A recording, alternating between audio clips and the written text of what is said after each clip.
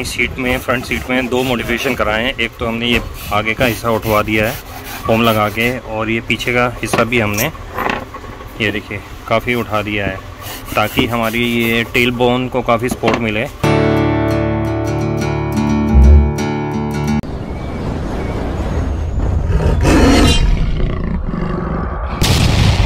Hello everyone जाटो mills में आप सभी का स्वागत है। मैं अभी हूँ करोल बाग में। और ये है गली नंबर 57 नाई वाला जगह का नाम है। और मेरे सामने है जीतू बाइक पॉइंट। और यहाँ पे हम आए हैं अपनी बाइक में जो सीट है, उसको मॉडिफाई कराने आए हैं। और, जो भी डोमिनर चलाता है, उसको पता है कि जो स्टॉक सीट होती है, वो कितनी मतलब कि अनकंफर्टेबल होती है। उसके लिए अगर हम लॉन्ग राइड करते हैं, जैसे मैं 500 700 मैक्सिमम मैंने 1100 किलोमीटर मैंने राइड करी हुई है सिंगल राइड।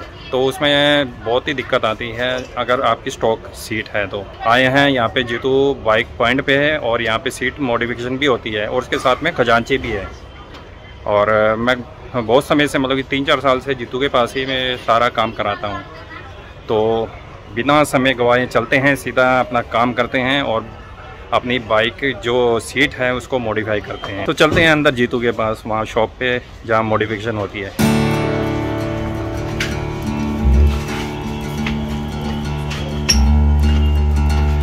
ये एक छोटी सी गली में है इनकी शॉप।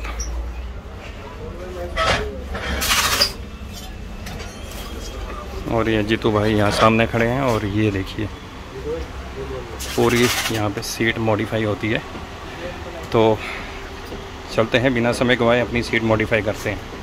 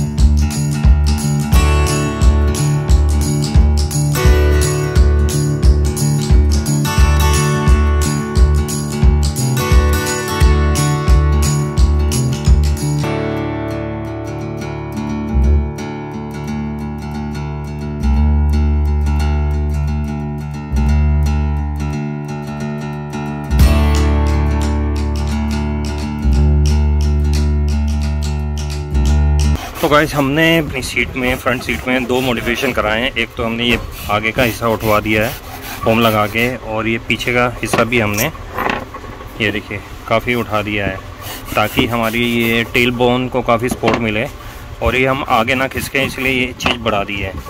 और हमने पिलियन सीट के भी साइडें मतलब एक्सटेंड कर दिए हैं, ताकि स्पेस थोड़ा ज़्यादा मिले बैठने को।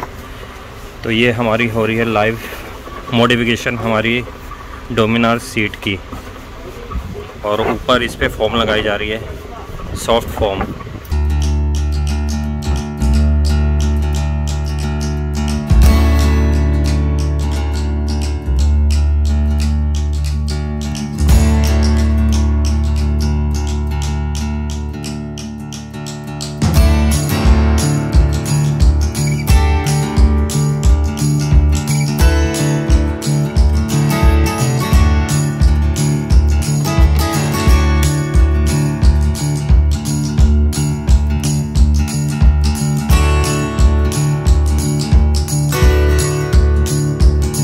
तो कहीं ये देख लीजिए, हमारी सीट होगी है मॉडिफाई और ये मैंने थोड़ा ऊपर उठवाया है ये चीज़। अप अपराइट कराई है और ये भी चीज़ मैंने थोड़ा ऊपर उठाया है। पहले क्या था कि मैं खिसक के बिल्कुल टैंक पे चला जाता था, लेकिन अब ये मैंने अपना जो पोस्चर है, यहाँ तक मैंने कराया ताकि मैं यहाँ पे फिक्स रहूँ। और ये पिलियन सीट भी मैंने थोड़ी वाइड कराई है, यहाँ पे मैंने एक्स्ट्रा ये जो फॉर्म लगवाई है मैंने और ये काफ़ी वाइड हो गई है और कंफर्टेबल भी पहले से ज़्यादा हो गई है। लेकिन पिलियन सीट वैसे ही अनकम्फर्टेबल होती है। तो लास्ट ब्लॉग में मैंने अपना हैंडल बार राइस मतलब कि चेंज कराया था मॉडिफाई कराया था। फैट बॉय हैंडल बार लगाया था और अब मैंने कराया है अपनी जो राइडिंग सीट और पिलियन सीट को मॉडिफाई कराया है। तो आपको ये मॉडिफिकेशन कैसी लगी, एक कमेंट ज़रूर करना। तो अपना ब्लॉग यहीं पे हम ख़त्म करते हैं। आपको जो भी क्वारी हो, मुझे मैसेज कर सकते हैं। अंत में दोस्तों राइड हार्ड राइड से बंदे मातरम एंड जय हिंद। सायोनारा